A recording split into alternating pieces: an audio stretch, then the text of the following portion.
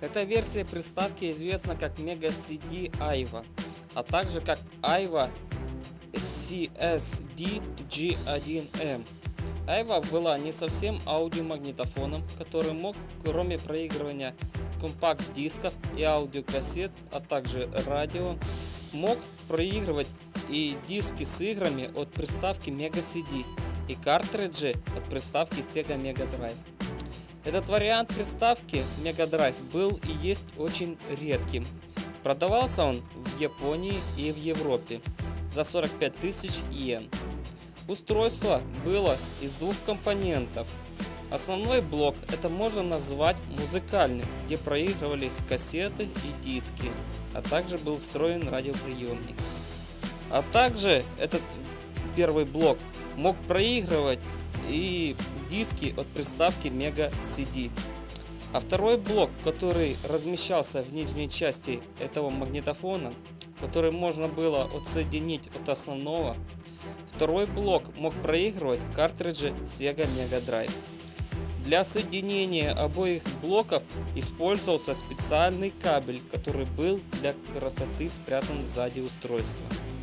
Спереди устройства второго блока было два порта под джойстики, что позволяло сыграть вдвоем с другом. Для того, чтобы это устройство могло проигрывать игры консолей Mega CD и Sega Mega Drive, пришлось разместить аж три микропроцессора.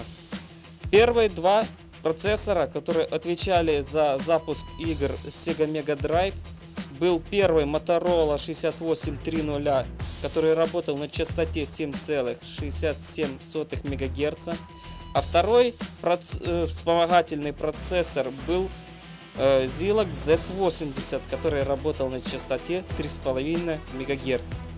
И третий процессор, который запускал игры от Mega CD, был Motorola 6830 с рабочей частотой 12,5 МГц. Оперативной памяти было 64 килобайта для процессора 6830, который запускал картриджи от э, Mega Drive.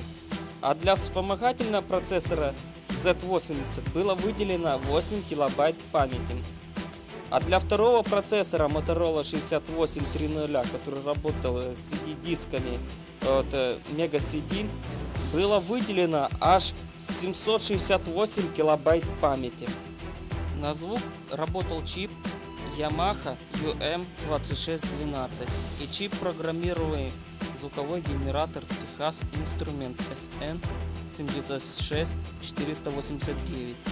На экран выводилась картинка разрешением 256 на 192 пикселя. На экране могло в одно время быть 64 цвета из 512 палитры. Э, также могло быть 16 одновременных спрайтов. Спрайты состояли из плиток разрешением 32 на 32 пикселя.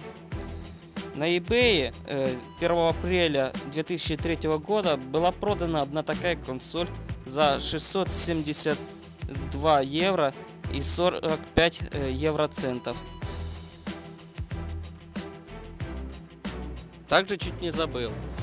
Данная игровая консоль также совместима с Sega 32X и Power Base Converter, а также с любым э, модулем расширения, который можно захомячить в порты для картриджей.